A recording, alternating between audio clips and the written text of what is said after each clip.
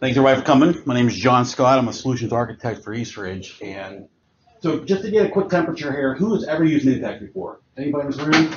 You've used Nintex forms, workflows? Yes. Both? All right. Has any, you guys use Nintex also? We tested it out years ago. Okay. So we'll go over it again, look at it. Um, who has written SharePoint Designer workflow, workflows? Uh, pretty much everybody. Who has written Visual Studio workflows? All right. So you know the pain. Yes. All right. Who's written InfoPath forms? Anybody? Anybody? And you guys, how you like that? Support, tried to support one. well, sport's always a problem. Right? Try. Tried. Yeah, One. So, I kind of the agenda is we're gonna go over, you know, why you want to automate it. You, you guys probably know, but you probably have to take it back and sell it to your, your bosses, right? A lot of times, managers might say, well, this is making your job easier. Why should we waste time in it? And we'll give you some compelling reason to say, this is why you should do it. What exactly can be automated? Um, the forms, the workflows, we're using Nintex forms, Nintex workflow, and then we'll demo it, right? I'll show you guys a demo I've built. If time permits, we can build one in front of everybody. Um, maybe try the old cooking show thing. Where we'll build it and I'll pull one out of the oven already ready to go. So let's start. Why do you want to automate your business processes? Well, there's really three main reasons, right? You want to streamline it. You want to make it quick. There's also the visibility and accountability. Because with paper, right, when I give you that paper and it has to go through a chain, I have no idea where it went to. I don't know if it fell down a crack somewhere. I mean, that's actually happened to companies before. Um, I, I have no idea what's going on. And then also there's a pretty substantial cost savings you'll see. And that's what your C-level people are going to care about. You can save the company money, they want it. So to streamline it, um, the business rules or the, process intelligence, whatever you'd like to call it, it's kind of baked into the forms and the workflows, right? So you don't have to teach people how to submit it or where it should go or who to drop it off to. Um, it improves compliance because they only have one way of doing it. Same reason with governance. It's really hard to screw up a form. You can still be done. I probably have done it, but it's a lot. It's, it's, it's harder than delivering it to the wrong person, so it reduces the human error. It also gives a single process behind it, so there's no more. Hey, John does it this way, but Corey does it a different way. There's one process behind it. So the, for the visibility accountability, um, you can view the status of your submit. You know, is it waiting for an approval? Is it rejected? Who, who are you waiting on? Uh, you can also see what is waiting for you, right? So if you're a manager, you have to approve things. You can say, "Oh, I forgot. I have to go approve this request form for Corey." You know, stuff like that. You can also report on submission metrics. You can say, "How long has it taken to do this request? You know, what are the bottlenecks? What's going on?" What's very interesting is people seem to work faster once you can tell what they're doing. It's just human nature, right? If it's something that there's no accountability and there's no visibility, I might put that as my number two, number three priority. If I know that you can say, hey, why did it take you two months to approve a form? You know, I'll do it quicker. And then ultimately, right, the cost savings. It reduces any training cost. It reduces any time fixing problems. Uh, with, with paper, right, removes paper cost. And with removing courier fees, that's a little odd, but I mean, it's really any kind of physical fees that go with it. Uh, about when 2007 came out with about six years ago, I did a project for a law firm in Wheeling where they did structured bond deals with Merrill Lynch. Um, and they were just, you know, sending deals and, we used uh, electronic signatures. And they said, hey, just for the courier fees and for the paper fees, it's going to save them a million dollars a year. So they did all the counting. So $300,000 project, the ROI was pretty good. that was not even including a 30-day process that went under a week. So, I mean, just across the board, it, made a lot of sense. It was all done with SharePoint workflows, uh, SharePoint 2007, no Nintex, so probably a lot cheaper now. It will also increase accountability, so they'll work harder, and it'll increase productivity so you can actually do other work.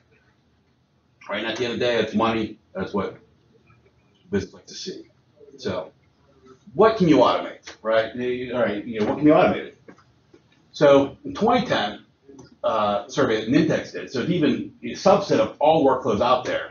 They found that there was 35 different industries using workflow to, uh, to automate their processes. And so the top five, right, were manufacturing, financial, health, energy, and government. so those are the, main players in the space using automates. And in those industries, you know, what departments are automating? Well, in the same survey, they found that departments across the board were, these are the, these are the big ones, right? Finance could do, or, uh, any kind of request forms, customer support could handle, uh, issue management, operations would do facility management, you know, HR, there's hundreds of forms that HR gives you. You know, same thing across the board, IT, day-to-day, help desk tickets, uh, requests for new hardware, all that kind of stuff, they can automate. And then, so the common ones, right, like I mentioned, are PTO requests. Every company's got these. Travel requests, expenses, job recs. Every company's got these. Um, but then there's also industry specific stuff, right? So how do I manage something with compliance if I have to do something with compliance, right? I have instant intake. If I do access management, I can do it. Durham Public Schools, they have a bunch of forms automated. You don't want to transfer schools, all stuff's online with workflows that drive it. And originally this was any process. Thomas next door said, well, what if I want you to go to the moon? You can't do that one, right? So I qualify with almost any process that you can whiteboard can be automated. The extent of that automation would be based off of your integration points. Right now, if you, if you want, if I want to know when you go to the moon, I can assign you a task. When you come back, complete it. I can't really send you the moon, but I can automate portions of it. And so forms. So everybody here has done InfoPath forms, or most of you guys here. There's a, uh, when 2013 came out, there was kind of a lot of buzz in the community, right? Because there was no new enhancements in the InfoPath forms. Um, and there was rumors that it was going to be deprecated. It's, it's really built off an old technology, built off XML forms. So it's kind of a, an, an area that we're not recommending companies spend a lot of, make a big investment in because we're not sure what the lifespan's going to be. Microsoft seems to be pushing people toward access services or Excel forms, and there's really not a compelling story around either one of those right now. And I mean, as a developer, I kind of feel like I've been fighting people out of access and, and out of Excel for the last 10 years. I don't want to push you back in there. Um, so in the electronic forms, right, in most cases, they're going to represent your paper process. But not only that, they're going to be the interaction point for any human contact, right? If I need to approve something, I'm going to hit electronic form. If I need to give you feedback, if I need to say, hey, yes or no, it's all done through a SharePoint form. And a big thing today too, I mean, every time I go see a client, they see something, they love it, they say, well, that's great, how can my technician get this on his phone? Well, I'm like, all right, we turn sideways, go to his website, and, you know, 2013 is a little bit better, but it's still not very good. So there's more and more concern saying, okay, how can we expose these forms to the mobile environment and make it easy for them? And that's where Nintex kind of comes in, right? So on the left, you're going to see a capital expenditure form that I'm going to show you later, built for a web, web page, right? And that's actually for uh, a desktop web page. Here's the same form done in Nintex Mobile. I wrote it one time. This is the app that, that actually takes it. And this is for a Windows 8 app, okay? I did not write this code. And I did not do anything. I wrote that form, and I dragged it around, and it produced this. I'll show you guys more later. It's not just for Windows 8. I have it, I'll pass. I have iPads. So actually I can say I'm an iPad developer now because I wrote a native uh, form for it by using Nintex Forms. Put that on my resume, be good. so, um, the forms, right, they're available for any SharePoint SKU. It's not standard, it's not enterprise, it's just there, you know, the, the, the additional product you purchase. The 365 version will be out at the end of September-ish, right? That's what they told me. No definitive date. It's kind of around the corner, so hopefully it'll be out soon. I have a lot of people waiting for it. Um, the nice part about it is it does not require a separate piece of software to design them. How many people need to have InfoPath 2013 to develop these forms, but the company's still running 2007 version of Office? So it becomes a logistics nightmare to say, okay, I need one piece of 2013 Office to do my job. That's always tough. Usually additional cost. You a question or you raising, agreeing with it? Um, and then also, the forms in InfoPath can, can support advanced skill cuts, right? Manage metadata. You could not write an InfoPath form to consume those. Uh, business activity search skills. You cannot do that in InfoPath. It even has stuff, when I'll show you later, with the workflow diagrams, where I can actually show you where this form sits in its respective workflow. So that's kind of a cool thing because it's, it's Nintex, they all play really well together. And then you guys saw earlier that the form you filled out for the Surface RT, That was actually an Nintex form that we published to the cloud. It was accessible to anybody. No one had to log in, but it feeds back into our on-premise SharePoint. That's kind of neat because there's a lot of cases where you want to put maybe a survey or some kind of feedback, something on your public website that you don't want to stand up a whole other form or stand up a whole other web application for and worry about transferring back and forth. So Nintex gives you a way of doing that. And it actually is smart to say, hey, you know, only make this form accessible for a week. You can set all those things up in there. So if you're doing some kind of registration or something like that, it does for you. No additional cost. And like I told, showed you earlier, these forms can be written to target mobile devices. There's two options. In your designer, you can say, I'm targeting this for an iPad browser, or I'm targeting this for an iPod browser, or I'm targeting this for Android or Windows 7. They'll give you a web-based form that you can kind of lay it out differently, different aspect ratios. Those are nice um, when you need to have more advanced controls. Nintex Mobile will actually render it's an app that you download, it's free, and you connect it to your portal, and it'll actually go grab your forms and say, okay, these are all the forms available, all the tasks that are available for you to fill out, and it'll actually render a native application. What's really cool about this is it supports offline. So it refreshes, you set 15 minutes, 30 minutes. I can go, I don't have internet connectivity, I can fill out these forms, when I get back online, it's gonna send them for me. That's, that's a really big compelling story, because a lot of times, you have doctors in offices that are walking around, they are at the, uh, a hospital, don't always have Wi-Fi everywhere. So you can fill it out wherever they're going, and it will send up when they get back.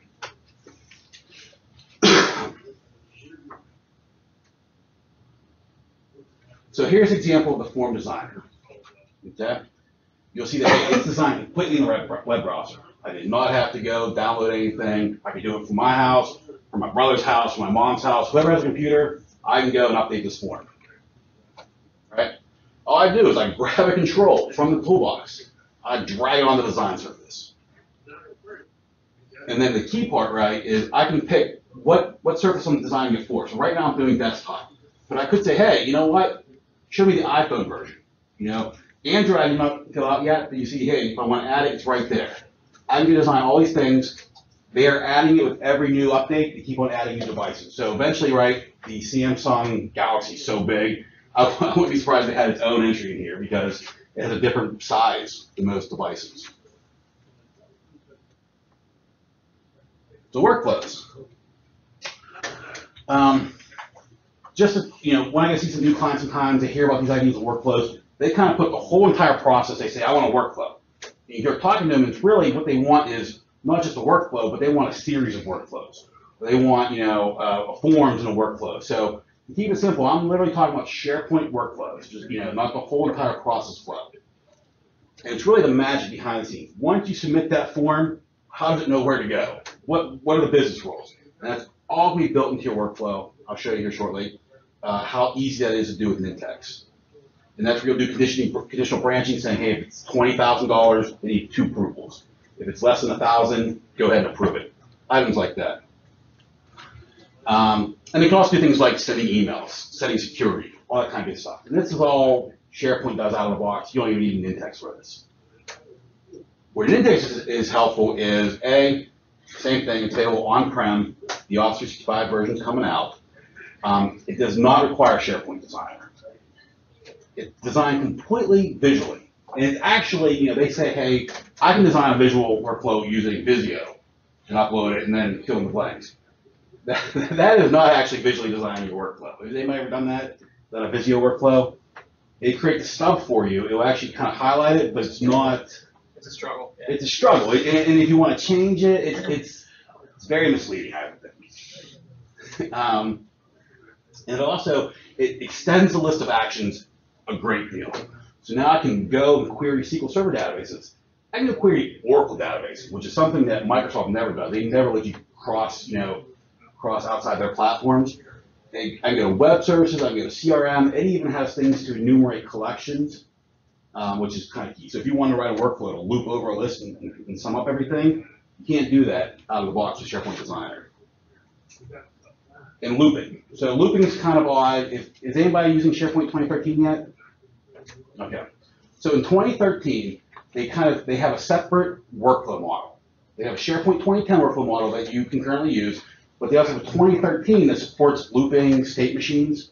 Sounds great but it doesn't have all the actions that 2010 has. And also all the forms have to be designed in ASPX pages, no longer InfoPath.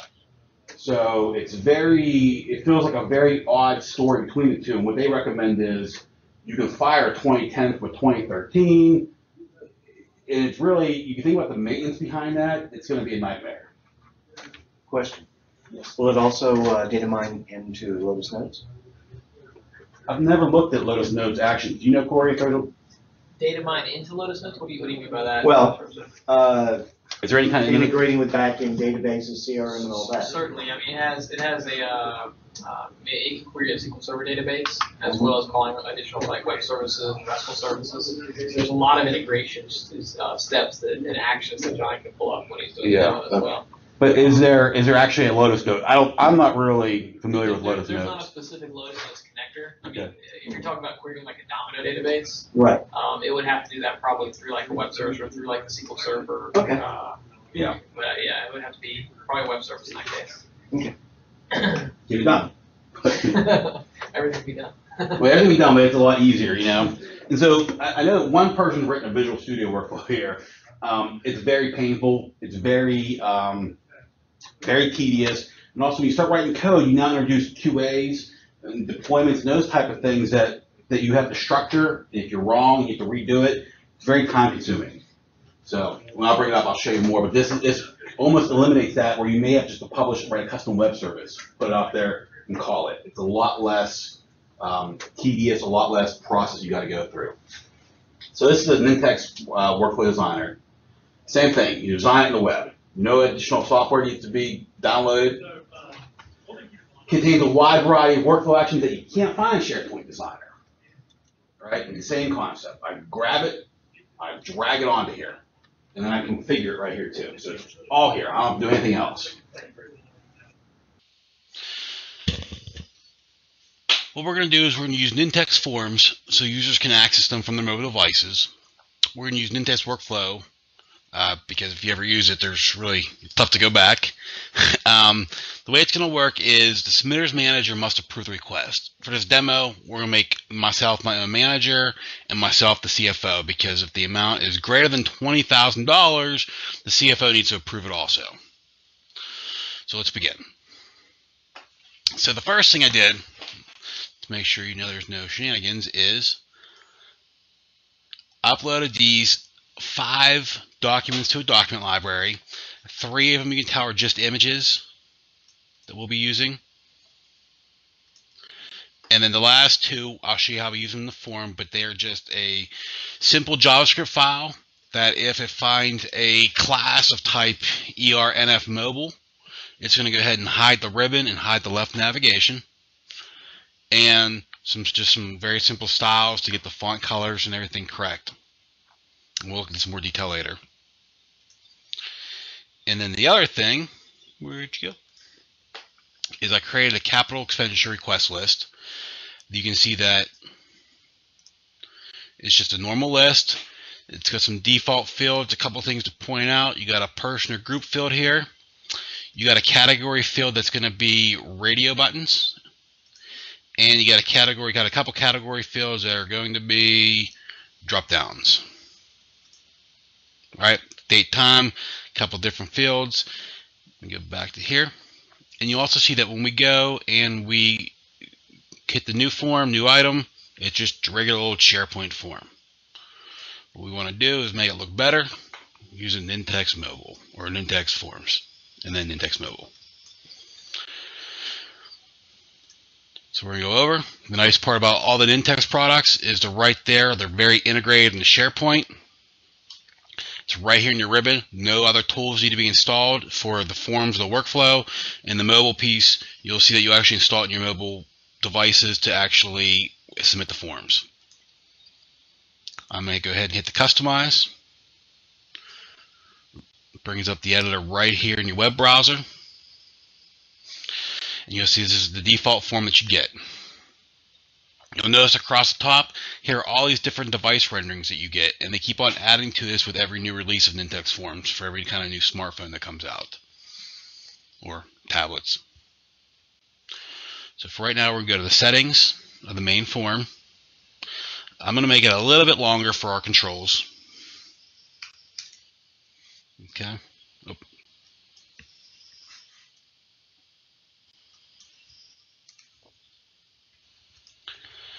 For the appearance, I'm going to go ahead and get rid of that background color because no one wants an orange form.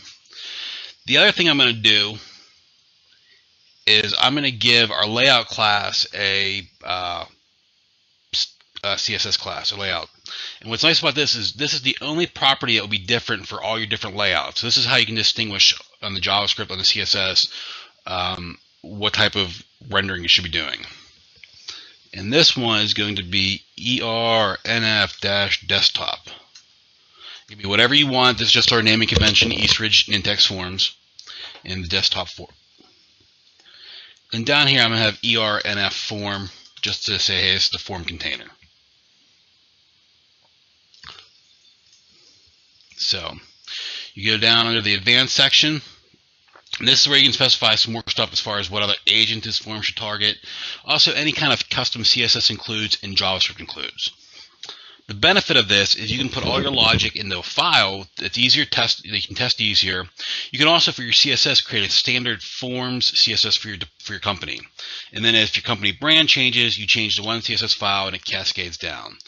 The one negative to this is using CSS includes and JavaScript includes is you don't see it when you're designing. It, you know, you'll notice that as I'm dragging controls on here, it doesn't get the same result look and feel in the design mode as it will when we actually go and use it.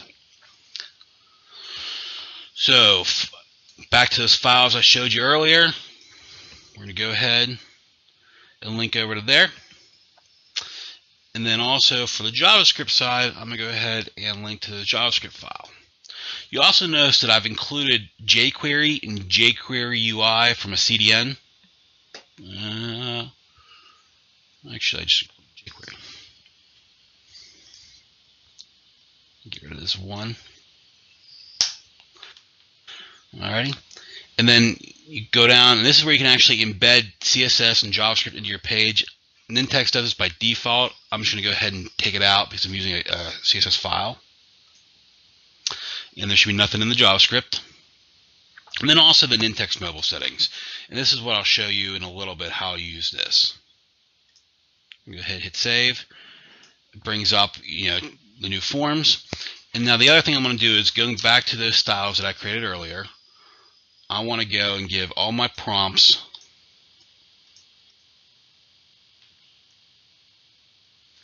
a new class of er-prompt. Okay.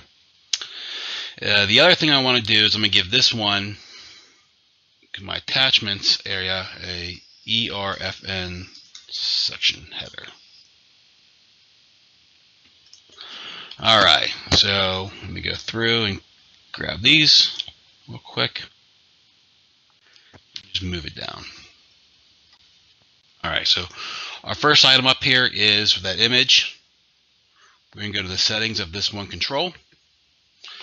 And we're going to give it a URL of the image that I had stored in that library that I initially showed you. You can give it alternate text, form logo, or company logo. And you can see there's a bunch of different properties you can specify. Practically everything on this form has similar attributes that you can customize. Oh.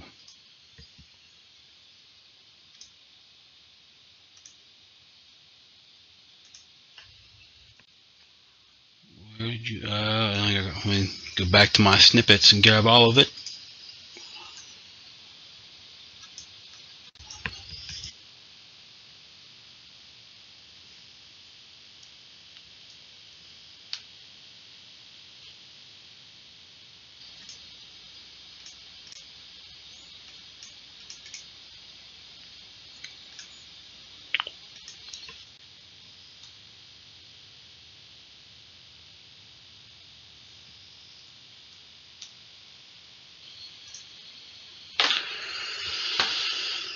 All right, we'll come back to the logo later.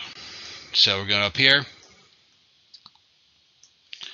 The other thing I want to do real quick is add a header to my form. I'm going to go add a rich text area. And I'm going to call this my capital expenditure form. Go ahead and make it 24. And uh, we'll make it bold.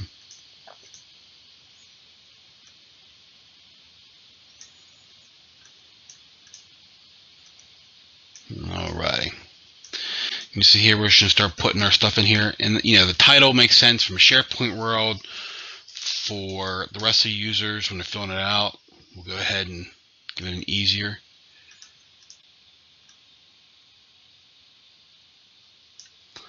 We're gonna go up here. You'll see that we do have uh, rich controls in the web browser form, such as a people picker. The one other thing we're going to do here is we're going to add a note, add a label. And all I need to say is specify a user if you are submitting this on their behalf. And what this is, this will allow you to actually submit the capital expenditure request for somebody else. Maybe you have an assistant or something like that. All right, and let's actually go in. I just double clicked on it. Let's go make it italic and how about we make it like a blue. Right. All right.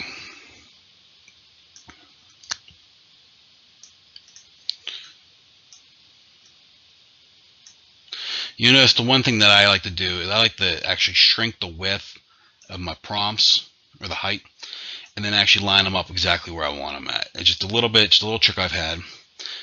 Another thing I wanted to point out is your category, because we specified it as a radio button in the settings of the list, it actually generates radio buttons here. I know that if you try to do it with InfoPath, you had to go and kind of hack the, hack the heck out of it to get all those values in there. Um, by default, it wants to go straight down. What I'm actually going to go do is I'm going to go to settings. And I want to say, you know what, give me five columns. Because there's five values. And then go across and then go down. Right, and I can do some CSS classes if I want to and all kind of good stuff right in here.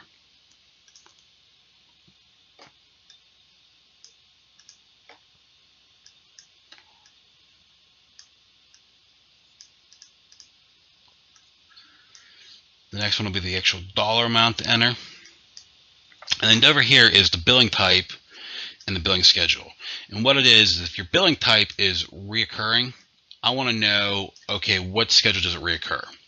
But I also want to hide it if it's a one time because it doesn't make any sense. So in order to do that, what I'm going to do is I'm going to drag out this panel control. Okay. I'm actually going to add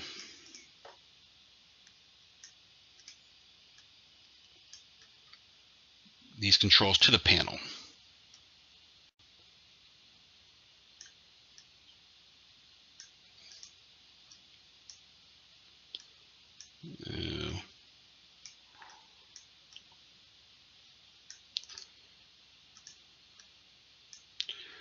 Uh, get back in there. All right, I'll put you right here. And I'll move this right next to you. And the reason I did that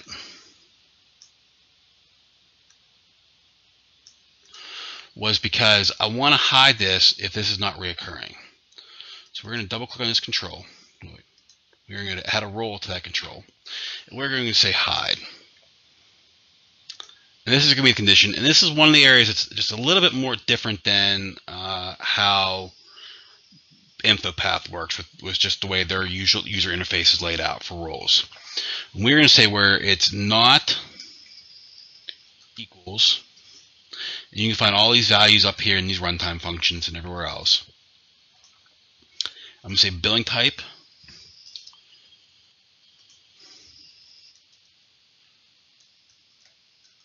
Reoccurring. And so what that says, if the billing type is not reoccurring, then I want to hide this control. I can disable it, I can change the formatting, very similar to the way InfoPath works. Now I want to come up here and do my attachments area. I'm actually gonna give myself header and drop that right in here. And you'll see that now we have our form.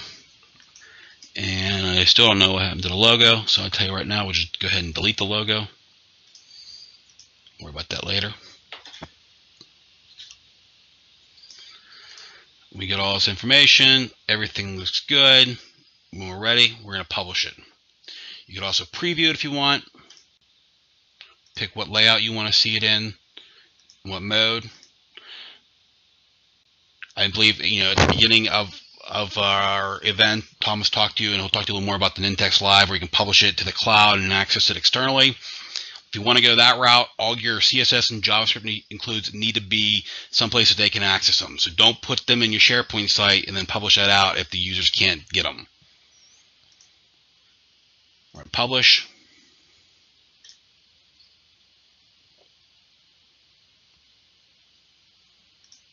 All works.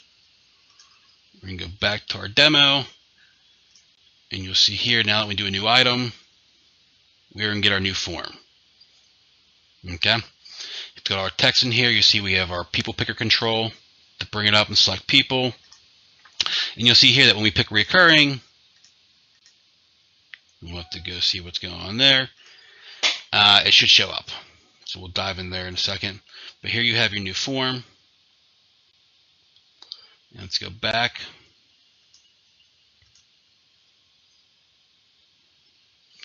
And we need to fix it. But since it's right here in the browser, it ain't hard to do.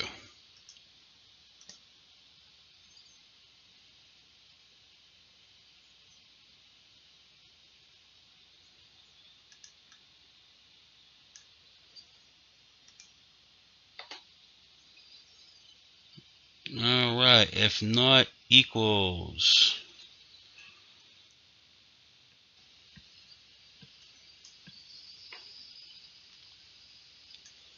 Grab my whole thing.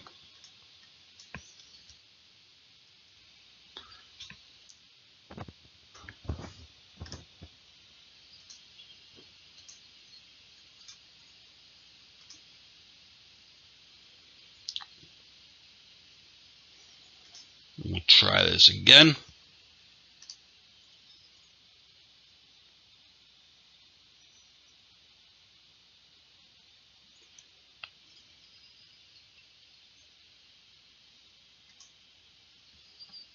Alrighty.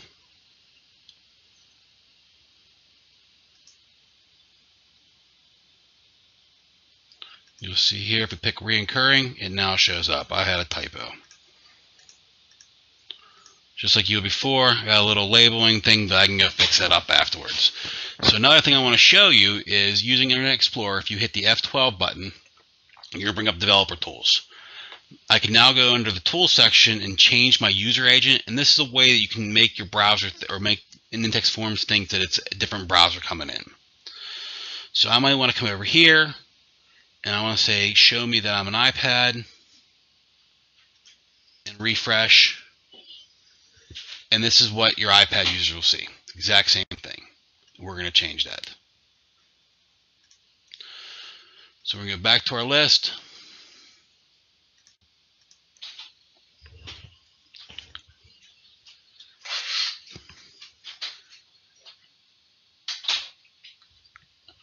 I am going to go over to the layouts and I'm going to go over and do an iPad.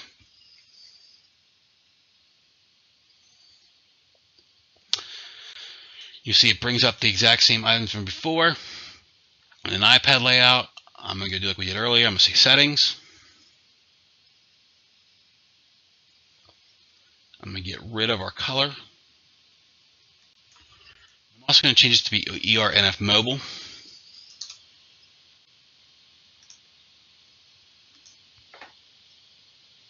Just get rid of it. We'll make this the iPad. Actually, I'm going to add a new label.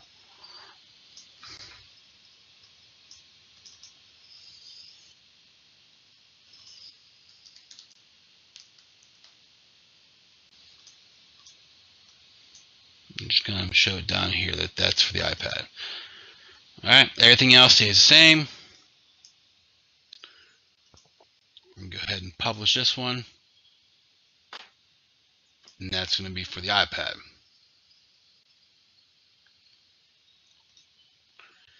Let's go ahead and go back to our browser. Going to make sure that the user agent is still set for iPad, and we're going to hit new.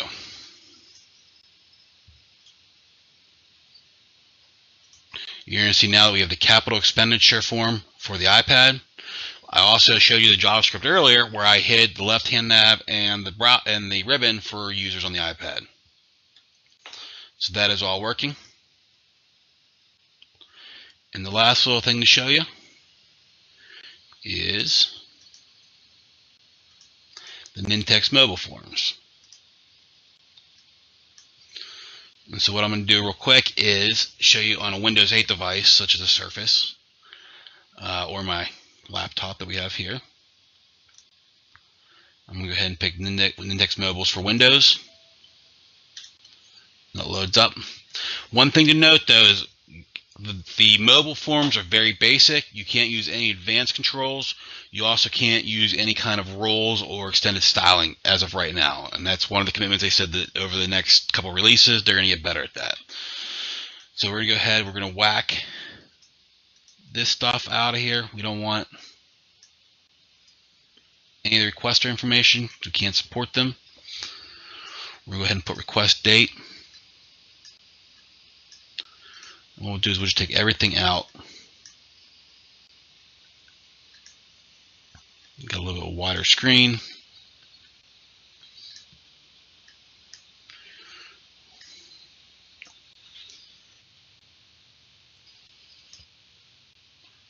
We'll take this all the way out here.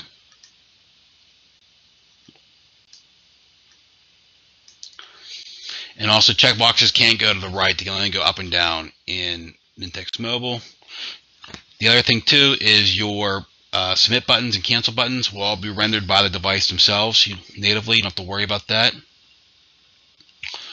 We're going to do is we're going to do attachments down here.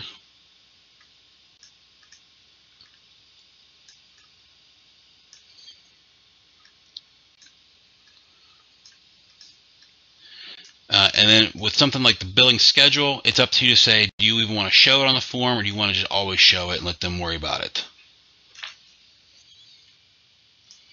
I particularly say, let's put it in there and let them have it fill it out if applicable.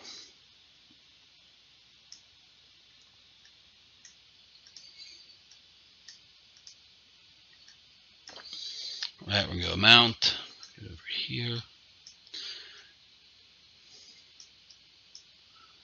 Like I said, we need an extra big area for the categories. All right, so now we have a Nintex form. Let's do one for the snap view real quick, show you what that is. Right, it's gonna be your skinny view. And first thing I'm gonna do is go into settings and just double this because we have a lot of controls.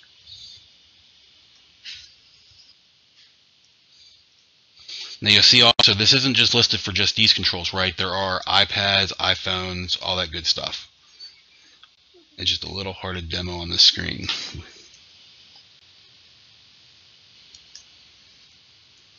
Alright, so we go here. We'll say, you know what, let's make this smaller because we're snapped.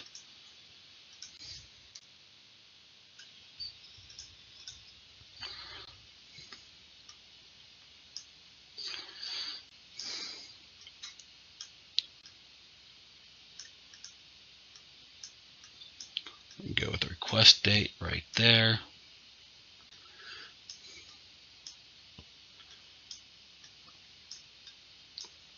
Same as before, give it some room.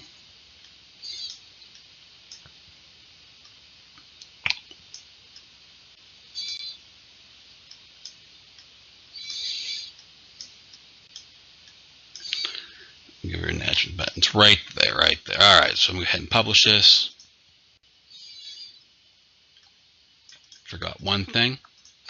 Now what you want to do is under the form settings, you'll give it a category. I'm going to call it uh, Nintex Forms Demo because I have a few of them. I'm going to change the default form name and form description. I'm going to say capital expenditure form. And this is the mobile version. And for an icon, icon, icon, let me go find my icon. Right here. All right. Publish, publish.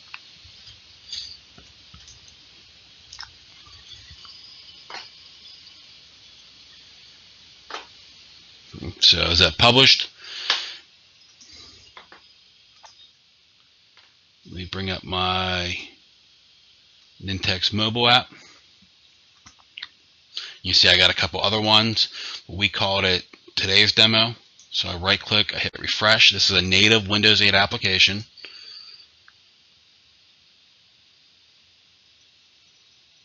And you see I got Nintex Forms demo. It's my new one. What's nice about this app is it actually supports offline. If you fill it out and you don't have an internet connection, connection it'll be put in your it'll be put in your outbox. And at that point in time, when you hit the internet connection, it will send it. If you fill it out and you don't get a chance to finish it, it will go in your drafts, so you can finish it out later. You're at the coffee shop, gotta get a coffee, something like that. So I'm gonna go over here. I'm gonna hit the capital expenditure form. Here's the form that we just put together. All our fields using the native attach and everything else submission that comes with Windows 8. And then also we go over here and we dock it. You'll see here, it's got the description, the date. I have some alignment issues, but just the general concept you'll see is all right here. So if I want to do that while I'm designing it, you can do that docked. Okay, now that we have our Nintex form wrapping our capital expenditure list, it's time to put the workflow behind it. Um, so what we'll do is we're going to go back to our list. Just click on it like you normally would. Go to SharePoint. And like all things Nintex, it integrates very nicely into SharePoint. Uh, it's right here on the ribbon. I go to Workflow Settings and I say Create a Workflow in Nintex Workflow. You see it's going to load up. This is the web-based designer. Uh, a couple things to point out. It comes with a ton of templates that typically you can take these and tweak them and, and save you hours of building a workflow. Um, just add a few commands based on your business needs and you're set.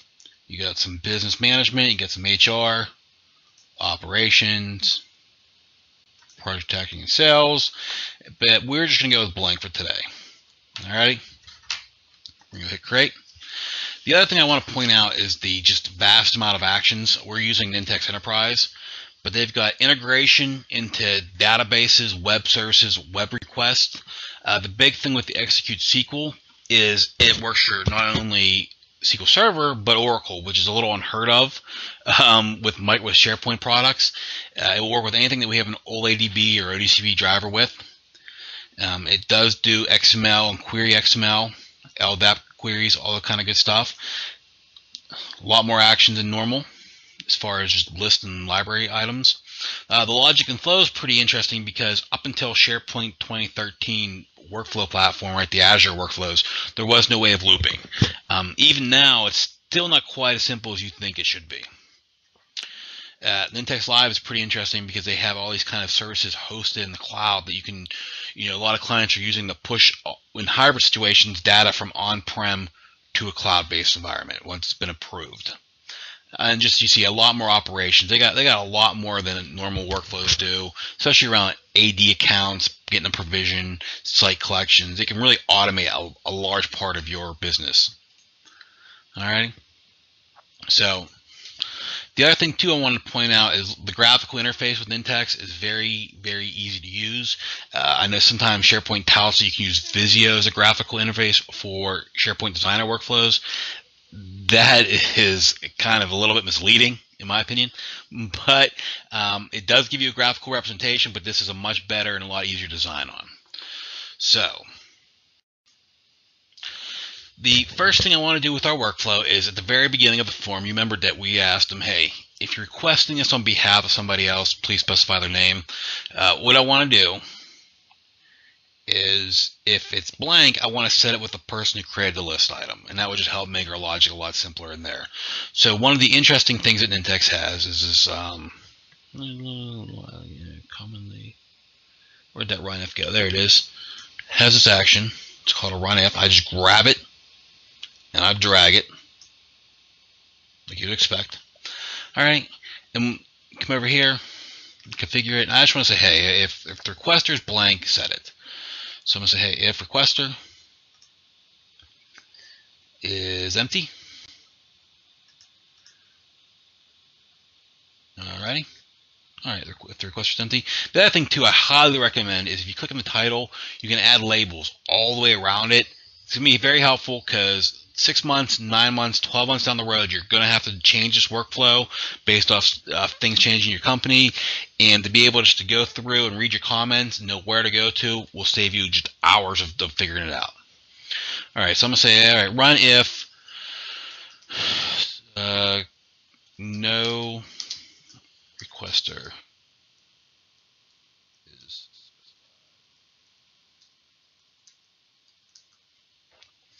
All right, and then under libraries and list, I want to set a field value. I'm going to drag this out. And I'm going to say set requester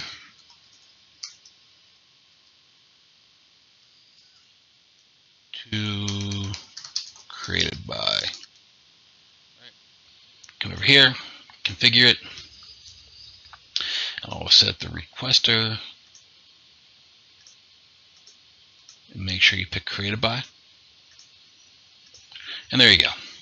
Now this is kind of a system thing behind the scenes. Uh, users don't really need to see this too much, so I'm just going to go ahead and minimize it because once you set it once, it really has no bearing to the rest of the process. All right, so the rest of the process. Let's go through and send a notification. And let's send an email out to the requester, letting them know that we got it. So we'll come over here. We're actually going to get it. You can have a full search, uh, externally look up email addresses, but really I just want to get it from a lookup. I want to say, okay, go to list item, I want requester.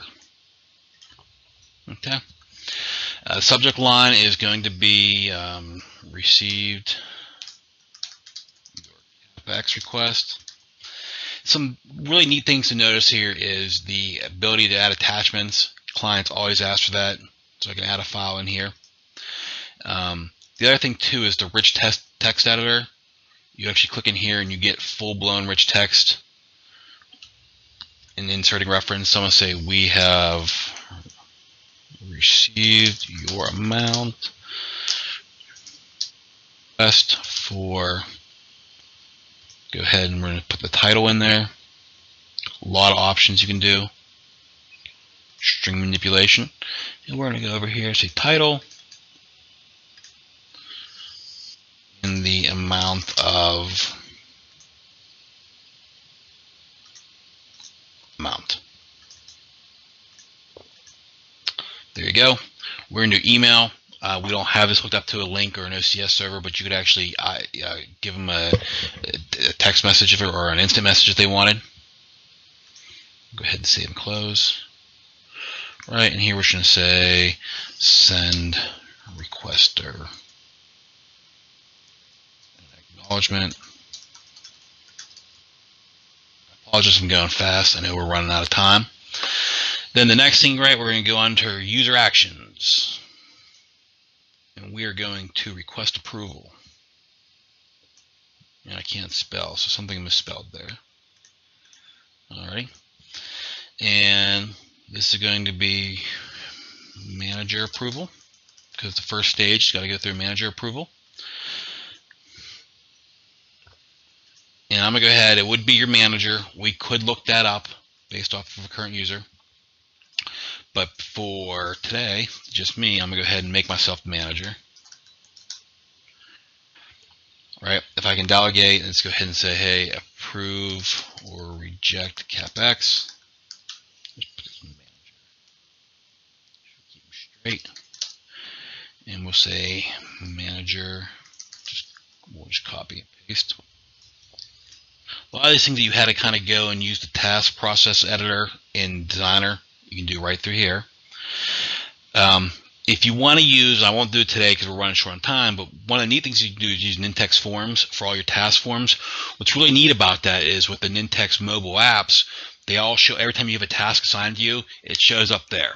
And what it'll give you is one place, you know, no matter where that site is or where that, you know, that site collection, that site, um, they'll all be aggregated to your Nintex mobile app.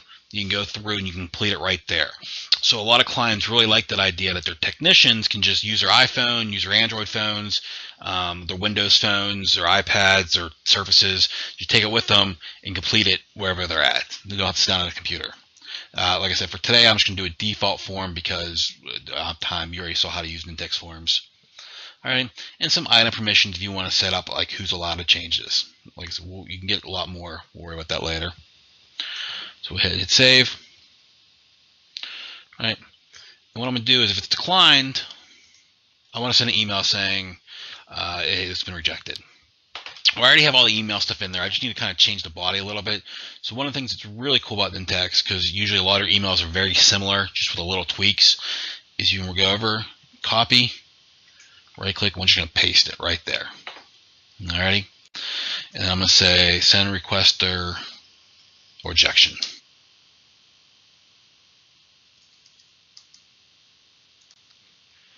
Right, and we'll just go in here, we're going to configure it, and all we got to do is just change the email saying your manager has rejected your request for blah blah blah. The only thing too, I forgot to point out is if you guys are using mobile a lot and just have plain text, you can go ahead and do that and it won't send over any kind of HTML in there. Let me save this. Alrighty, we're gonna go over here and do the logic and flow. We're to grab the set of condition, which is an if statement, right? And we're to say uh, direct CFO approval. We'll say need CFO approval. And what we'll do is we'll actually say less than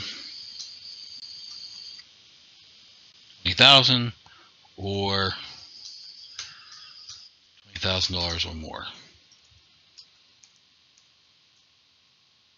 Okay. Open it up. And we'll just go to the current item and the, and the list item we're working on. We're going to say if the amount is greater than or equal to value, we can do lookups. We'll say 20,000. All right. So if it's less than 20,000, it's already been approved. I'm going to copy my email. It's going to be very similar. I'm going to say send requester approved. We should go ahead and configure and say your CF, your manager, your CFO, no, your manager. All right. But if it comes down here and CFO approved, um, you can do it. So for time's sake, I'm just going to copy. I'm going to paste. Look at that, it kind of copied everything in there, which is pretty neat. I'm going to go ahead and delete this. And I can keep that one actually. And what we're going to do is just configure that and say CFO. And we'll call this. And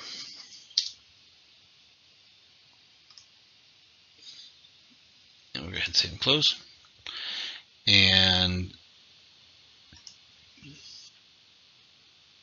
now keep in mind that if this was a real live system, you would want to change the assignee to your CFO name. Not just me. We'll configure this to say your CFO rejected it. We'll copy, we'll go ahead and paste it in there.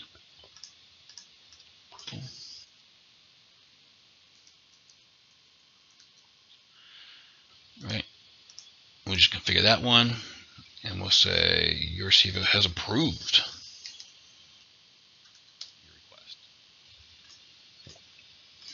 All right. We'll go over to workflow settings. I want this thing to start uh, manually. Start when item is created, hit the yes. What's neat about it is you can do conditional. You can set up a condition saying, hey, only start this thing if some value equals some value, which is pretty neat. One other thing to mention, we're not demoing, is you can schedule your site workflows, so it sometimes avoids the need of writing custom timer jobs. Uh, one of the other things too is if you're having problems, turn on verbose logging, see where you're at. And if you want to do your own forms for the initiation or the start form, but like I said, for today we're going to leave that off. We'll go ahead and hit save. And we're going to publish. We're going to call this the CapEx approval. And to sit here and publish. All done through the web browser, no additional tools required.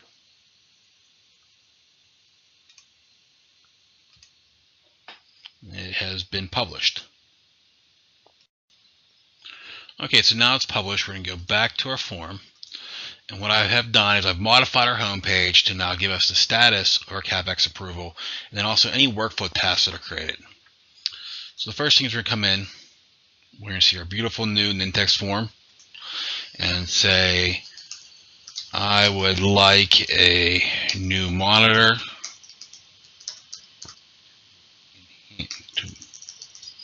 put that on here. I'm requesting it from myself.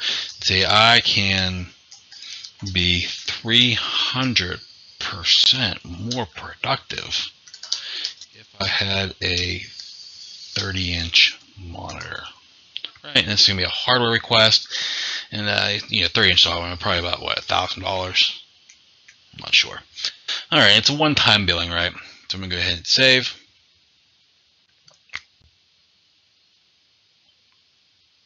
You see that it's in progress right now.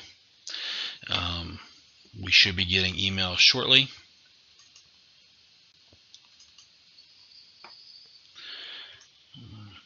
Like I said, it's the first time the workflow runs. Uh, thing to point out is Nintex workflow actually sits on top of the SharePoint Designer workflow. It just kind of integrates right in there. So SharePoint Designer workflows take a couple seconds to start for the first time. The same is true for the Nintex. And you'll see here I've got my email for we received a request for I would like a new monitor in the amount of a thousand dollars. So it sent me my notification. Right? You'll see here it's put the task in there. Alrighty. Uh, one thing I do want to show you. Where's the workflow? Uh, actually, let me go through here. Here's the email that you'll get to do the task. Um, here's the item that we're approving. Here's where I can go approve it and add my comments. One of the neat things is though is I can go on here and view the status. And this will actually open up and show me a graphical representation of where my workflow is right now. And you can say, oh, okay, I've gone through here, I've done this, this is where we're currently at. Okay. What I will do, go back to our email. I'm to click here to add my comments and I'm going to approve it. Here's all the item properties right in here.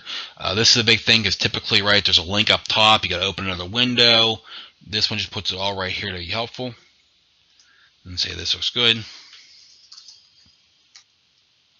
I said, we could open this up with uh, Nintex forms and customize it. Okay. And there you go. It's been completed. Right, if we go back over, just because it's my quickest way of getting there, and view the status, you can see green, green, green, came this condition, went down this way, we finished. Right? Now something I would think would be really neat is it'd be cool if I could click on my form and kind of see that information too. So what we'll do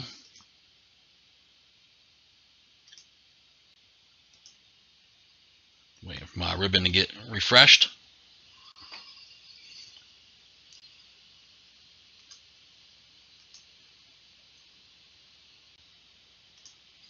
Let's see why the ribbon's not refreshing. All right, I'll just do here. And what I like to do is on our desktop version,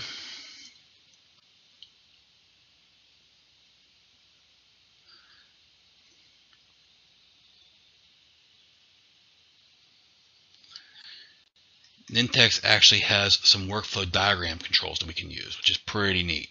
So now you need to go to that workflow status page. Right, and if you really had time and ambition, what I would recommend is use jQuery UI tabs, put the workflow diagram on a different tab, you'd be set. All right, we're going to publish.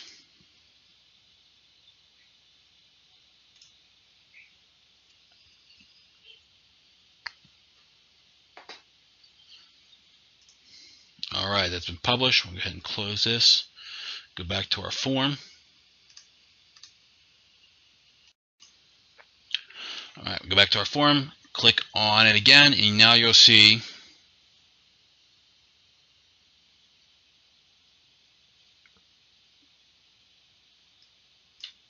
that this is what's currently going on with it. All right, and then just one more chance. We're going to go down a let's do a greater than twenty thousand dollar one. Let's say I would like a Porsche. And I'm going to request it for, well, I got to request for myself.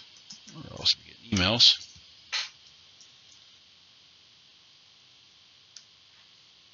Right, and say I can get to work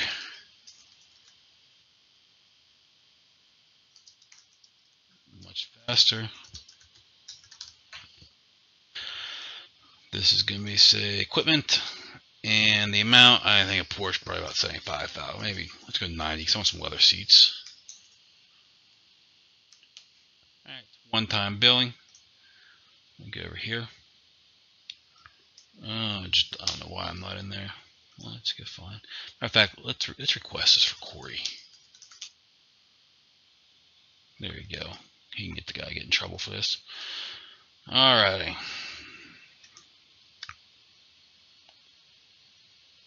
Yeah, I don't want I don't want to be in trouble getting a Porsche. Uh, they'll know it's me because I can't spell. All right, so you see it's in progress. We're gonna refresh the page. All right, the manager approval. We'll come over here and say, hey, I approve it. Uh, I think we should all have Porsches.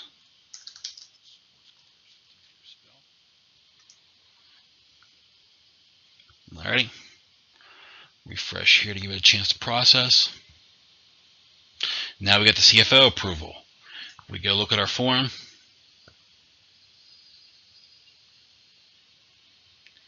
You're gonna see where we're at now. We come down. It's been approved, but it is greater than twenty thousand dollars, and we're at a CFO approval. So go ahead and close.